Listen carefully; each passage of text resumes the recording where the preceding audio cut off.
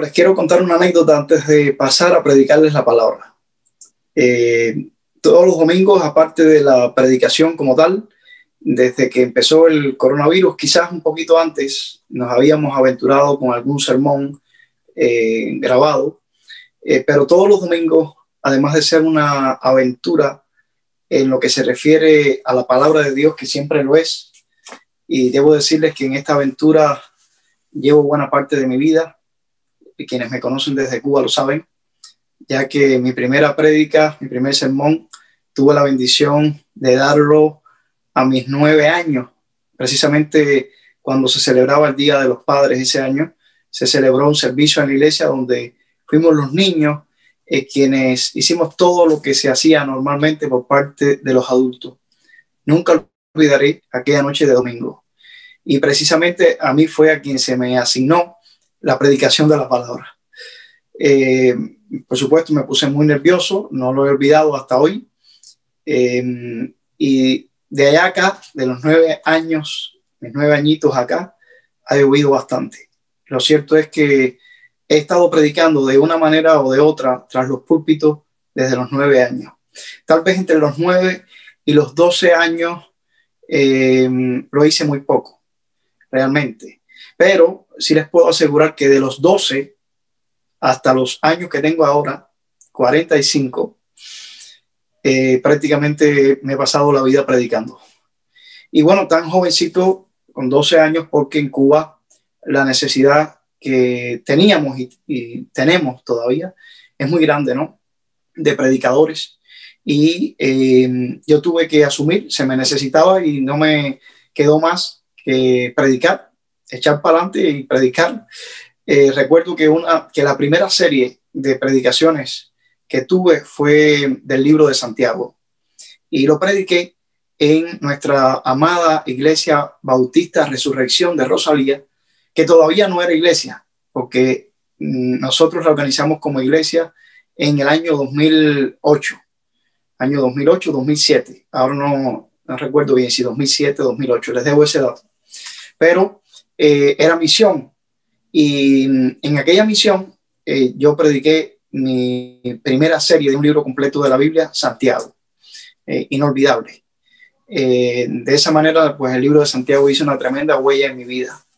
Pero bueno, les decía, cada domingo es una aventura a la hora de predicar de la palabra de Dios y puede uno como predicador predicar a la vez de, de un mismo texto cientos de veces que quienes predican y me están oyendo lo saben, cada vez que uno predica de ese texto es una prédica diferente porque la palabra de Dios tiene tanto que decirnos que un mismo verso eh, tiene, pues nada, tiene mucha tela por donde cortar. Y, eh, pero desde esta época del coronavirus, además de la aventura que ya era y es y sigue siendo predicar de un texto de la palabra de Dios, se sumó otra aventura, la aventura de la tecnología, la aventura de intentar compartir el sermón con aquellos que no pueden estar, aunque quisieran estar, en el mismo espacio físico. Esto tiene que ver eh, desde nuestra iglesia local. Yo predico para la iglesia bautista de Waldorf, una eh, pequeña iglesia hispana en el estado de Maryland, eh, con miembros provenientes de diversos países de América Latina e incluso de España en el viejo continente.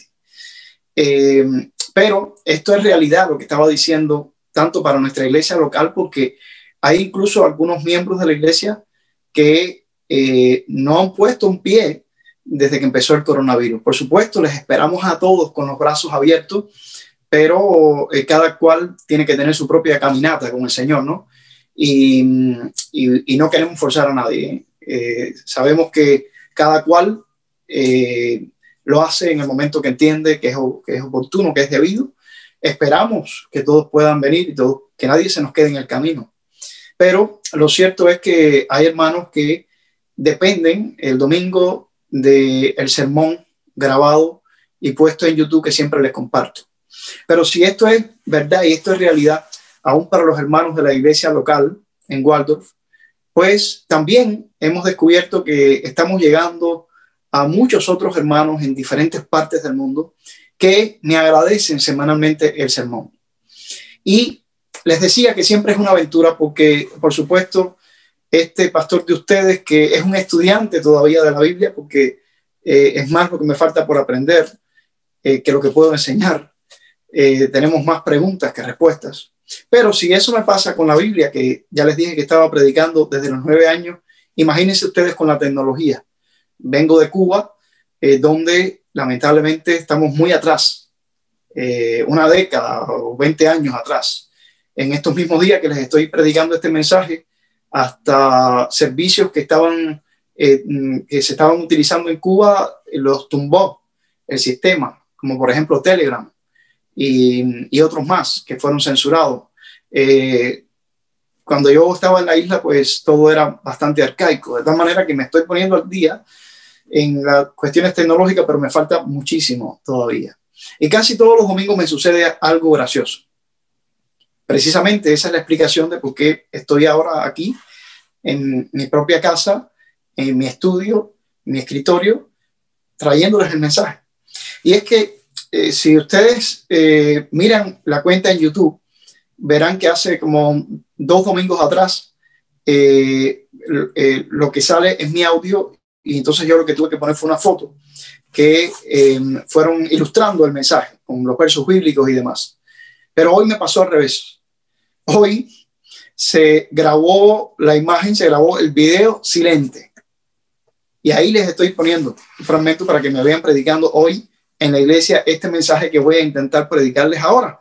Porque no quiero que los hermanos que cada domingo reciben mi mensaje, eh, aunque fuera uno solo, se queden sin la palabra que Dios me dio hoy para ti o para ustedes. Por lo tanto, no podía poner la cabeza en mi almohada y dormir tranquilamente pensando que hermanos de la propia iglesia de Waldorf esperan. Tal vez pienso que algunos de ellos los he mal adaptado ya, ¿no? Y dicen, bueno, como el pastor me va, me va a enviar el sermón, no tengo que ir a la iglesia. Espero que no sea así, ¿no? Pero lo cierto es que sí hay otros hermanos que me lo agradecen y tengo pruebas de que lo ven. Eh, tengo hermanos, por ejemplo, voy a mencionar algunos lugares eh, donde, lo, donde ven mis sermones. uno de esos lugares es Naples, eh, Florida, donde mm, eh, tengo eh, familiares, tengo parientes y, y, lo ven, lo ven y me lo piden. Y si se daban cuenta hoy que no les enviaba el mensaje, me, ¿qué, ha pasado con el sermón? Pero igual tengo hermanos en Miami que lo ven, eh, tengo hermanos en Cuba que a pesar de toda la, situación que hay, intentan verlo. Y si no pueden verlo, por lo menos traten de escucharlo o ver algún fragmento en fin. Eh, pero hay otros hermanos en otras partes del mundo que también me lo están exigiendo. Uno de ellos eh, es nuestra hermana María Victoria Erazo Olexa, que es la que todos los domingos nos aporta las melodías al piano. Por cierto, aprovecho María Victoria. María Victoria vive en la ciudad de Rosario, Argentina, donde yo tuve la oportunidad de estar en el año 2015 y dejé por allá unos cuantos amigos y hermanos. A María Victoria la, conocí precisamente en una cruzada de Nicky Cruz en la que tuvimos la oportunidad de participar. Y eventos así, ya saben, une a hermanos para siempre. Lo cierto es que María Victoria, desde Rosario, Argentina, nos aporta las melodías que enriquecen estos mensajes. Y te felicito, María Victoria, porque este domingo, cuando estoy predicando este sermón, domingo 18 de octubre del año 2020, en Argentina se celebra el Día de las Madres creo que es así, ¿no? O ayer sábado 17, no lo tengo bien claro, si el sábado 17 o domingo 18, lo cierto es que una felicitación para ti. En Cuba y también en Estados Unidos lo celebramos en mayo, pero eh, igual, las madres, los padres merecen siempre nuestro honor. Es cada día llegue para ti en este día en que se ha celebrado en Argentina. Bueno, pues mis hermanos, no podía poner mi cabeza en la almohada pensando que algunos de ustedes se iban a quedar hoy sin la predicación. Eh, así que voy a predicar lo que hoy prediqué para la iglesia y que pueden ver esos fragmentos ahí eh, en silencio, fragmentos silentes, la comedia silente, y que me obligaron ahora a predicarles desde la propia habitación donde estoy. Podría podría, podría verlo, eh, podría hacerlo en vivo, pero les cuento, mi cuenta en YouTube donde estoy colgando mis sermones es una cuenta bastante reciente y YouTube tiene ciertas normas, no permite eh, hacer un video en vivo hasta que uno no tenga por lo menos mil suscriptores. Como mi cuenta está empezando, no llego ni a 100 todavía. Así que si ustedes desean que yo pueda en algún momento eh, hacer eh, mis sermones en vivo o hacer cualquier video en vivo, pues por favor eh, suscríbanse si usted no se ha suscrito a esta cuenta y de paso les llegan las notificaciones cada vez que yo cuelgue un video.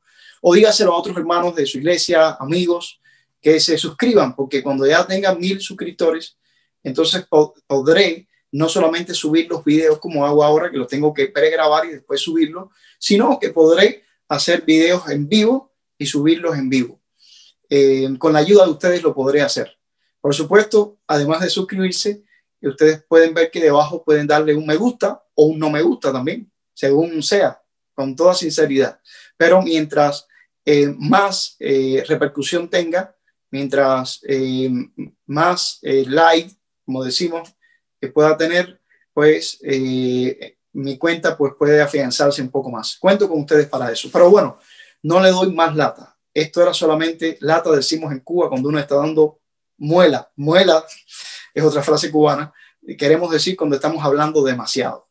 Pero bueno, eh, consideré, ya que estoy en, mi estudio, explicarles el por qué estoy haciendo el sermón hoy, o lo voy a hacer desde acá, y quienes estuvieron hoy en la iglesia, eh, pues lo escucharán, si se atreven a, escucharlo, doble. Lo recibieron allí, in situ, y lo van a escuchar ahora. Por supuesto, les cuento, ¿no? que eh, además, por supuesto, de que ya es el final del día, me ha pasado un día entero por encima y no estaba preparado para eh, volver a dar el sermón ahora, sino que cuando fui a prepararlo para subirlo, es que me percato de que estaba silente. O sea, se grabó con el micrófono silenciado. pero no hay nada, y eso lo he comprobado como cuando estoy con hermanos delante de mí. no hay nada como ustedes escuchar el sonido del llanto de un niño, esos niños, ¿verdad? Que presentamos hace poco, si ven videos anteriores, eh, me encanta cuando alguno de ellos eh, llora o algo así, aunque no son muy llorones, les encanta venir a la iglesia. Me encanta cuando hay hermanos y que usted escucha que uno de ellos tose, eh, por supuesto, ellos se ponen siempre la mascarilla y están tomando todas las medidas y cuidados, pero no hay nada como tener delante de uno seres humanos que te miran y tú estás viendo sus gestos. Eso no está ocurriendo ahora, no estoy viendo a ninguno de ustedes, pero quiero que el Señor hable a través de mí eh, y quiero que el Señor me permita irme por encima de, eh, de las limitaciones humanas, eh, teniendo en cuenta de que ustedes estarán viendo este video con este sermón y quiero que, que tal y como recibieron la palabra los hermanos que estaban físicamente hoy allí y que podrán comparar esos que estaban allí, eh, pues usted también la pueda recibir en este momento. Dicho esto, y sin más preámbulos, voy a la palabra de Dios. El sermón que prediqué hoy eh, está basado en el libro de Génesis capítulo 1, verso número 2. Y este sermón se titula El mover del Espíritu. El mover del Espíritu, basado en Génesis 1, 2. Dice así Génesis 1.2. Y la tierra estaba desordenada y vacía. Y las tinieblas estaban sobre la faz del abismo y el Espíritu de Dios se movía sobre la faz de las aguas. Vuelvo a leerlo. Y la tierra estaba desordenada y vacía y las tinieblas estaban sobre la faz del abismo y el Espíritu de Dios se movía sobre la faz de las aguas. Bien, mis amados hermanos, este eh, verso de Génesis eh, lo hemos leído los que estamos familiarizados con la Biblia muchas veces, infinidad de veces. Porque además, si usted es de los que empezó a leer la Biblia, aunque se haya quedado a la mitad o en el segundo libro o en el tercer libro, estos son los primeros versos, ¿verdad? Génesis 1.1, en el principio creó Dios los cielos y la tierra. Y el segundo verso es este. Y la tierra estaba desordenada y vacía, y las tinieblas estaban sobre la faz del abismo y el Espíritu de Dios se movía sobre la faz de las aguas. Ya escucharon que les dije el título del sermón. El título del sermón es El mover del Espíritu. Se percatan entonces ustedes como buenos lectores o escuchas que esto de el mover del Espíritu que da título al sermón está basado específicamente en la parte final del verso, donde dice que y el Espíritu de Dios se movía sobre la faz de las aguas. Efectivamente. De ahí extraigo el título de mi sermón, el mover del Espíritu. Porque evidentemente, mis hermanos, el mover del Espíritu fue el que cambió la realidad que se describe antes de esa frase maravillosa, el Espíritu de Dios se movía sobre la faz de las aguas. ¿Qué es lo que tenemos delante? Se lo vuelvo a leer. La tierra desordenada y vacía. Y por si fuera poco, las tinieblas estaban sobre la faz del abismo. Esa eh, terrible realidad, ¿verdad? De desorden, de vacío, de tinieblas, se transforma porque el Espíritu se movía sobre la faz de las aguas. Hablaba con los hermanos que estuvieron en el, sermón cuando lo, prediqué físico en el, en el templo hoy y les decía que muchas veces nosotros leemos este verso, Génesis 1.2, pensando en un pasado muy remoto. Sin embargo, yo hoy quiero predicarles a ustedes no para que viajemos en el tiempo al pasado, sino para aterrizar en nuestro presente hoy y veamos este verso a la luz de nuestro presente. ¿Por qué?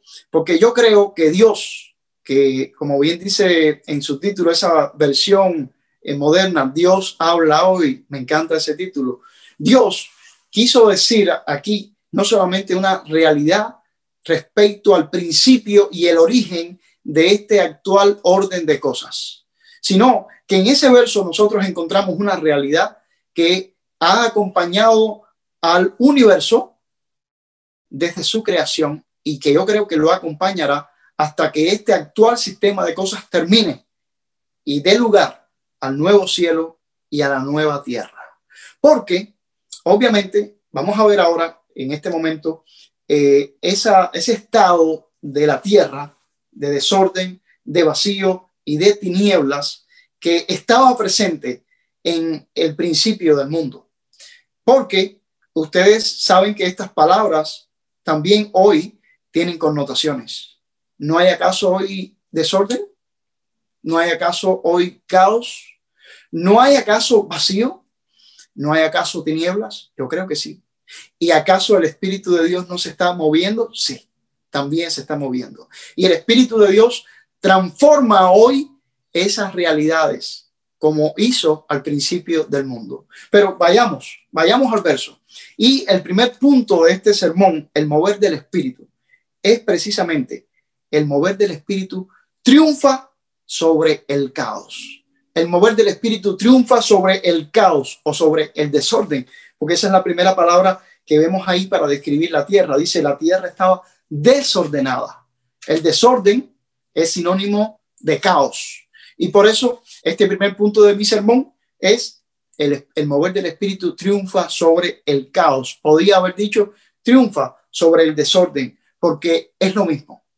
Y mis amados hermanos, qué bueno que el Espíritu de Dios se movía sobre la faz de las aguas, porque eso cambió en el principio la realidad de que la tierra estaba desordenada. Después, en ese propio capítulo de Génesis, vemos cómo esa tierra que estaba desordenada adquiere vida y cómo Dios, a través de los seis días de la creación, llena este planeta Tierra de habitantes, entre los cuales estamos nosotros, pero también los animales, las plantas. Es un capítulo sumamente hermoso de cómo Dios, con la palabra, el poder de la palabra, crea esta, este mundo el universo entero, porque en los días de la creación no solamente se habla del planeta Tierra, en los primeros versos precisamente se habla eh, también de la expansión y se habla de los astros, se habla de la luna, se habla de las estrellas, se habla del sol, para hablar de la obra de Dios majestuosa en todo el universo. Pero la tierra estaba desordenada. Y esa realidad del desorden de la tierra cambió porque el Espíritu de Dios se movía sobre la faz de las aguas. Mis amados hermanos y amigos, en estos tiempos también hay desorden. Hay desorden en, puede ser que en tu vida que estás escuchando este mensaje, que tal vez estabas buscando en YouTube a ver qué encontrabas y de repente has encontrado a este predicador y lo dejaste. No, sabes por qué. Pero eh, estás viendo que el pastor, el predicador está hablando del desorden. Y tú dices, bueno, eso aplica a mí, porque en mi vida hay mucho desorden, puede ser. Hay mucho desorden, hay muchas vidas en desorden, hay muchas vidas que se sienten en el caos y hay mucho caos en este mundo. De hecho, eh, yo les estoy hablando, como les decía, desde el estado de Maryland, en los Estados Unidos. Es un país que ha representado estabilidad eh, no solamente para sus habitantes, sino para personas que provenimos de, de diversas regiones de la Tierra, que en nuestros países veíamos y vivíamos demasiado caos y desorden, es mi caso, Cuba. Y bueno, Dios nos puso aquí. No ha sido la bendición que han tenido todos los cubanos, quedan muchos allí en el desorden. Pido a Dios por todos ellos y es más, pido que muy pronto haya orden para Cuba. Pero lo cierto es que este país, Estados Unidos, donde algunos hemos tenido la fortuna de poder llegar, representaba cierta estabilidad y cierto orden que en nuestros países, en nuestras regiones, era imposible de tener. Sin embargo, ustedes lo saben, porque están al tanto de las noticias también, esa estabilidad y ese orden en este año 2020 eh, se han visto afectados. Y no es solamente la pandemia del coronavirus. Ustedes lo saben, hay toda una batalla que tiene lugar en este país porque es un país donde hay democracia cada cuatro años, donde existe la posibilidad de elegir al presidente. En muchos de nuestros países esto es imposible. Yo con los 45 años que ya les dije que tenía, en Cuba nunca pude decidir sobre quién gobernaba. Y acá todavía no puedo hacerlo porque soy apenas un residente, un refugiado que ha sido aceptado y recibido como uno de aquellos primeros peregrinos por esta gran nación, pero no tengo, no decido nada, ni en mi casa decido.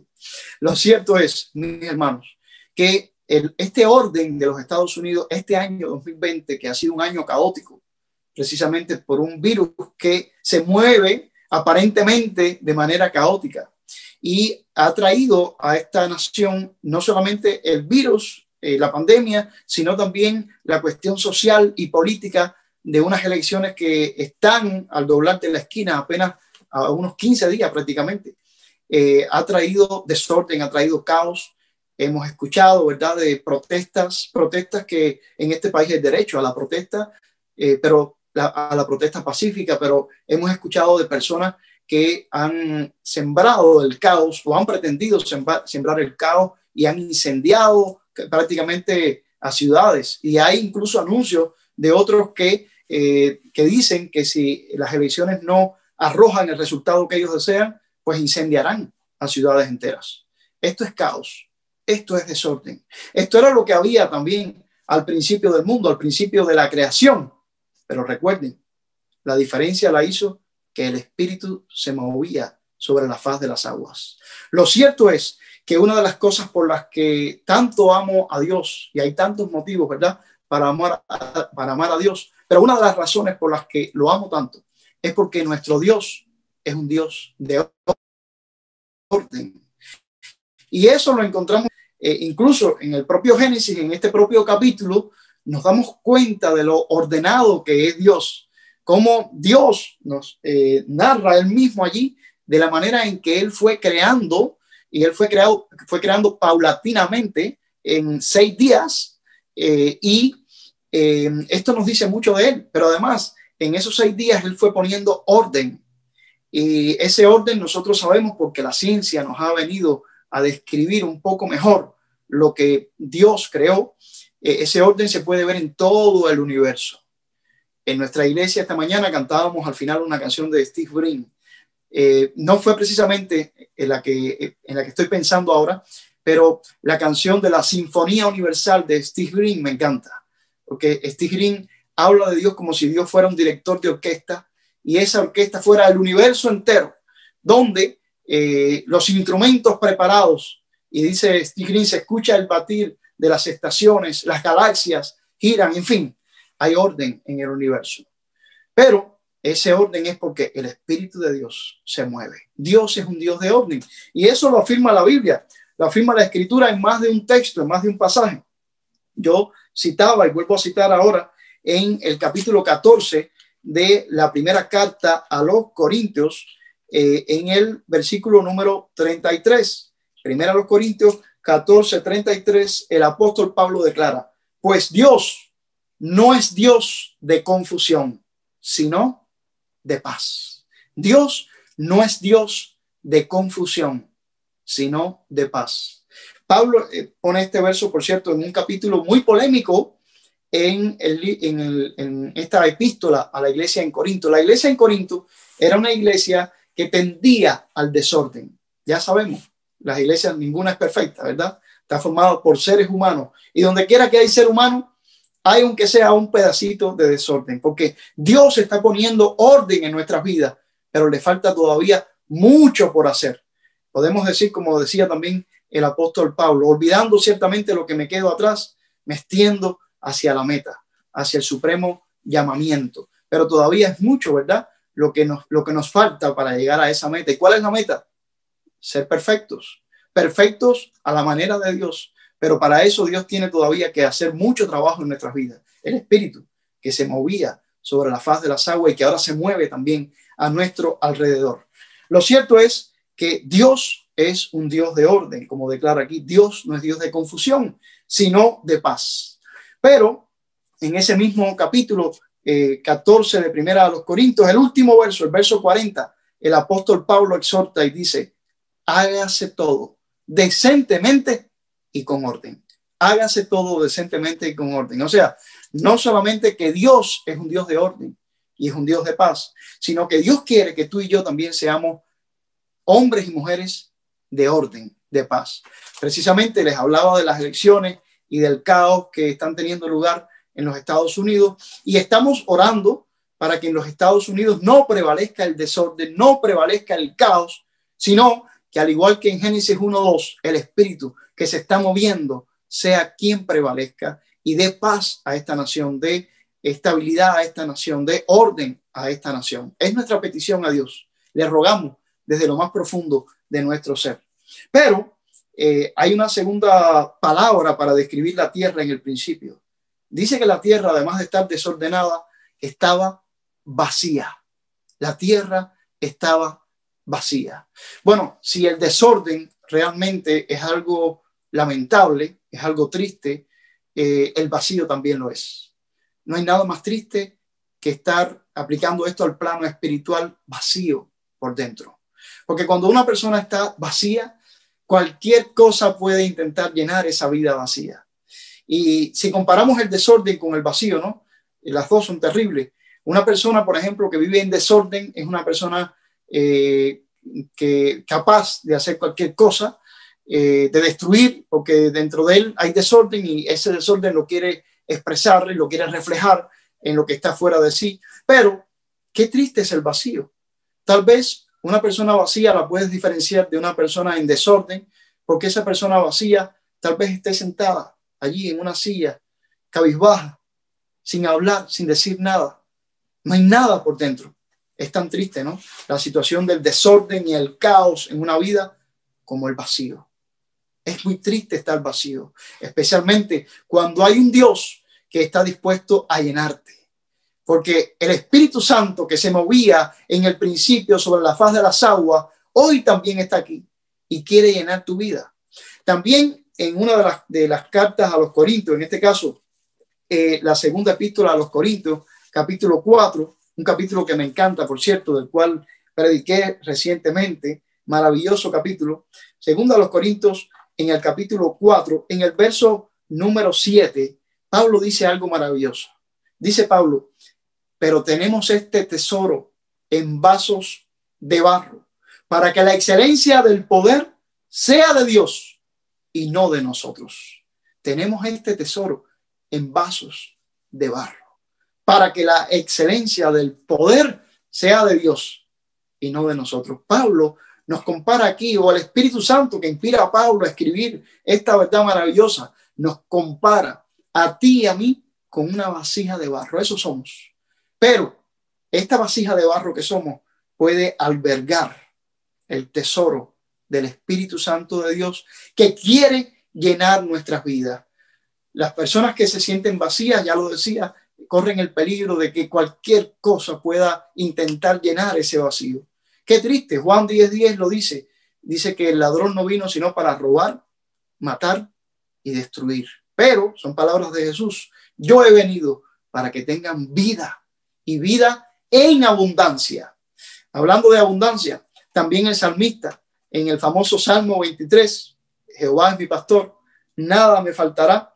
En el verso 5, en la parte final del verso 5, David declara, mi copa está rebosando, está rebosando, se derrama, se desparrama, está, estoy tan lleno que dejo caer, derramo sobre los demás el Espíritu. Bueno, mis amados hermanos, la tierra al principio dice que estaba vacía, pero gracias a que el Espíritu se movía sobre la faz de las aguas, esa tierra vacía llegó a estar llena de bellezas. Y belleza hay mucha todavía a pesar de lo maltratado que se encuentra en nuestro mundo hoy. Así que qué bueno que vimos que en primer lugar el mover del espíritu triunfa sobre el caos, sobre el desorden. En segundo lugar, el mover del espíritu triunfa sobre el vacío. Pero Génesis 1.2 nos habla de otra triste realidad. Dice que las tinieblas estaban sobre la faz del abismo. O sea que a pesar, además de que la tierra estaba desordenada, de que la tierra estaba vacía, había tinieblas, oscuridad. Pero el Espíritu se movía sobre la faz de las aguas. Gracias a que el Espíritu se movía sobre la faz de las aguas, hubo luz. Bueno, de hecho, ahí está en Génesis 1, el verso 3, que está después del 2, dice, y Dios dijo, sea la luz. Y fue la luz. Pero esto también lo podemos aplicar a nuestras vidas hoy y a nuestro mundo hoy. Recuerden que yo les dije que les iba a predicar de Génesis 1.2, no pensando en el pasado, no trasladándonos en una máquina del tiempo al principio, sino hoy, a tu vida, donde tal vez tú estés entendiendo que al igual que la tierra estaba desordenada, tú sientes que te estoy hablando a ti porque te sientes en desorden. Al igual que la tierra estaba vacía, sientes que te estoy hablando a ti porque puede ser que te sientas con un vacío en tu interior y sientas que te estoy hablando a ti hoy porque estoy diciendo que la tierra estaba en oscuridad y tú dices, eso también me describe a mí. Yo estoy en tiniebla, yo estoy en oscuridad. Pues hay una buena noticia para ti si te sientes en desorden, para ti si te sientes vacío, para ti si te sientes en tinieblas. Y la diferencia está en que el Espíritu se mueve y el Espíritu quiere entrar a tu vida y quiere convertirte en su templo, porque eso es lo que dice Pablo que somos nosotros, los creyentes, templo del Espíritu Santo. Dios quiere cambiar todas tus tinieblas en luz. De hecho, en esa eh, segunda carta a los Corintios, en el verso 4, en el mismo verso anterior al que yo había leído, que decía que eh, tenemos este tesoro en vasos de barro, en el verso 6 declara Pablo, porque Dios que mandó que de las tinieblas resplandeciese la luz, es el que resplandeció en nuestros corazones para iluminación del conocimiento de la gloria de Dios en la faz de Jesucristo. Porque Dios, que mandó que de las tinieblas resplandeciese la luz, es el que resplandeció en nuestros corazones para iluminación del conocimiento de la gloria de Dios en la faz de Jesucristo. Fíjense que hasta la palabra faz se repite aquí en Corinto, ¿verdad? Porque allí en, en Génesis 1.2 decía que las tinieblas estaban sobre la faz del abismo, pero el Espíritu de, Dios se movía sobre la faz de las aguas. Y acá, eh, segunda a los Corintios capítulo 4, verso 6, nos habla de la faz, pero de Jesucristo, que nos ilumina, que nos alumbra. Y tal vez este punto del Espíritu de Dios que hace que las tinieblas retrocedan, te, obviamente te hace recordar un texto tan conocido como Juan capítulo 1, que incluso empieza eh, con las mismas palabras que empieza el libro de Génesis, en el principio, ¿verdad? Génesis 1.1, en el principio creó Dios los cielos y la tierra, pero Juan capítulo 1, verso 1 dice, en el principio era el verbo, la palabra. Y el verbo o la palabra eh, estaba con Dios. Y el verbo o la palabra era Dios. Este era en el principio con Dios. Todas las cosas por Él fueron hechas. Y sin Él, nada de lo que ha sido hecho fue hecho. En Él estaba la vida. Y la vida era la luz de los hombres. La luz en las tinieblas resplandece. Y las tinieblas no prevalecieron contra ella. Mi amado amigo, mi amado hermano, que hoy has estado escuchando esta predicación, el mover del Espíritu, y que has entendido que esas tres palabras que se utilizan en Génesis 1.2 para describir el estado primigenio de la tierra, desordenada, vacía, en tinieblas, has entendido que esas palabras también pudieran describir tu vida. Hay esperanza, como la hubo y la hay para la tierra, donde el, el desorden no ha dejado de estar, lamentablemente, el vacío no ha dejado de estar, las tinieblas no han dejado de estar, dejarán de estar. Llegará un momento cuando este eh, actual orden de cosas eh, dé a luz el nuevo orden de cosas que estamos esperando. Cuando esta creación dé lugar a la nueva creación, a los nuevos cielos y las nuevas tierras, ya no habrá más desorden, ya no habrá más vacío, ya no habrá más tinieblas. Pero toda la historia de la humanidad se resume en un mundo donde hay una guerra espiritual entre el Espíritu de Dios, que afortunadamente está aquí y que se mueve, pero también entre el desorden o caos, entre el vacío y las tinieblas. Pero que así como el Espíritu de Dios prevaleció y prevalece sobre la tierra, y la mejor muestra es que vendrá un nuevo cielo y una nueva tierra en los cuales morará la justicia, pues también eso puede ocurrir en tu vida. Y tú puedes ser de las primicias de ese nuevo mundo, de ese nuevo orden de cosas que se acerca. Porque aunque vivimos en un mundo donde hay desorden, donde hay vacío, donde hay tinieblas, tú y yo, si hemos aceptado a Jesucristo como nuestro Señor y Salvador, que es el camino que nos lleva al cielo, porque Dios lo envió para salvarnos de nuestros pecados, en tu vida comienza a operarse el orden, comienza a moverse el espíritu llenándote como una vasija de barro y, también te ilumina con su poderosa luz. Pero tú a la vez te conviertes en un agente de orden, en un agente del mover del espíritu para llenar, porque lo derramas con tu copa que está rebosando, y también en un agente de luz para iluminar todas las tinieblas. Como mismo en la tierra desordenada, vacía y en tinieblas, el mover del Espíritu de Dios sobre la faz de las aguas hizo la diferencia. La diferencia en tu vida puede estar por ese mismo Espíritu que quiere trabajar en ti, que quiere hacer en ti la obra de Dios, la maravillosa obra de Dios, que quita el desorden y pone orden, que, que quita el vacío porque te llena tu vida y que hace que las tinieblas huyan porque te llena de luz. Dale oportunidad a Dios que quiere transformar tu vida. Quiero terminar citando el mismo verso que cité esta mañana para terminar en la iglesia, en ese mensaje que solamente grabó eh, imágenes de video silente, al estilo de la comedia silente, pero que no grabó el sonido porque el micrófono estaba silenciado. Espero que no, no sea así con este video que estoy grabando ahora para dormir tranquilo, sabiendo que la palabra de Dios también te ha llegado. Pero esta mañana, precisamente, citaba para concluir Romanos 8, del 26 al 27. Es maravilloso el capítulo 8 de, de Romanos, pero no se asusten, no se lo voy a leer completo. Solamente los versos 26 y 27, donde habla de lo que está haciendo hoy ese Espíritu de Dios que no ha dejado de moverse. Es más, eh, Apocalipsis, en su simbolismo maravilloso, habla de los siete espíritus de Dios que recorren la tierra.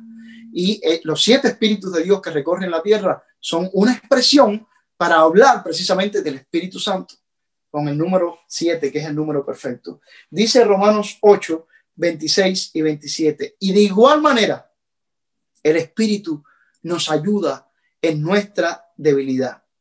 Pues, ¿qué hemos de pedir como conviene en estos tiempos, verdad? Que estamos viviendo donde hay caos, donde hay desorden, donde hay vacío, donde hay tinieblas. Cuesta trabajo a veces entender que hemos de pedir como conviene. Pero de igual manera que el Espíritu de Dios se movía en el principio sobre la faz de las aguas, de igual manera el Espíritu nos ayuda en nuestra debilidad, esa debilidad que reconocemos delante de Dios. Somos muy débiles.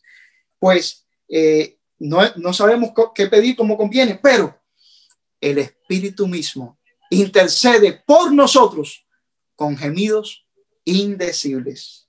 Mas el que escudriña los corazones sabe cuál es la intención del Espíritu, porque conforme a la voluntad de Dios, intercede por los santos, intercede por ti y por mí, para quitar el desorden, para quitar el vacío llenándote, para quitar las tinieblas que huyen delante de Él con su poderosa luz. Si eres alguien que se ha sentido vacío y si eres alguien que ha sentido que eh, mi descripción del desorden eh, te ha descrito a ti y, y si eres alguien que sientes que la descripción de las tinieblas te ha descrito a ti, haz conmigo esta oración. Padre, sabes que estas palabras que se encuentran en Génesis 1.2 para describir el estado primigenio de la tierra, de desorden, de vacío, de tinieblas me describe perfectamente a mí, describe mi estado.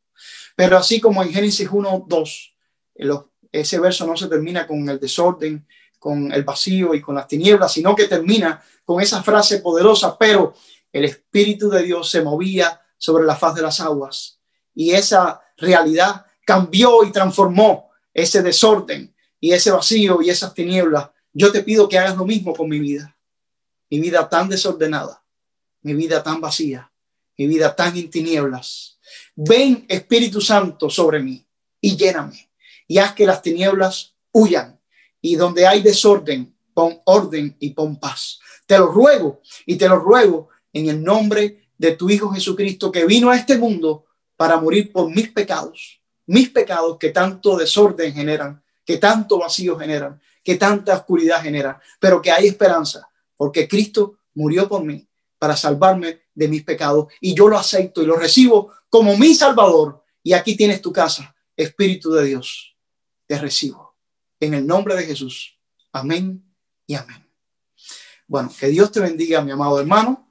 Gracias por tu paciencia, especialmente si fuiste de los que acudió a la iglesia y escuchó la otra versión del mensaje, más formal. El pastor estaba con saco y corbata, ahora no es así. Estoy en mi propia habitación, sin el saco, sin la corbata, eh, pero con el mismo mensaje y con la misma palabra de Dios que penetra hasta partir el alma, las coyunturas y los tuétanos y discierne los pensamientos y las intenciones del corazón. Que Dios te bendiga y te espero la próxima semana en mi sermón. Y ya sabes, si no te has suscrito, puedes suscribirte y también puedes eh, dar un like si te gustó el mensaje para que de esa manera algún día este pastor pueda llegar quizás a más gente cuando pueda hacer sus videos en vivo y no tenga que pregrabarlo. Lo, eh, lo que ojalá que nunca salga en vivo silente, ¿verdad? Porque eso queda para Charles Chaplin. Que Dios te bendiga, que Dios te bendiga y que esta sea una semana donde puedas ver al Espíritu de Dios ordenando tu vida, llenando tu vida e iluminando tu vida. Que Dios te bendiga.